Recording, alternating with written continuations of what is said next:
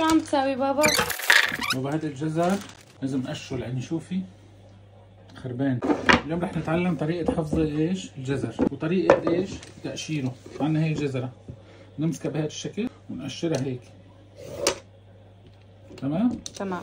هلا إذا ردنا هي الحركة البطيئة. الحركة السريعة هيك. عايروا الوقت.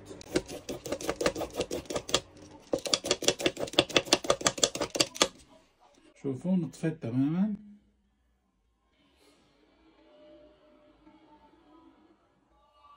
من فوق ومن تحت بنشيلهم إيش هلأ هدول بعد ما غسلناهم وقصينا لهم رؤوسهم أحسن طريقة لحفظ الجزر هو إني نحطهم بمكان لازم نغرقهم مي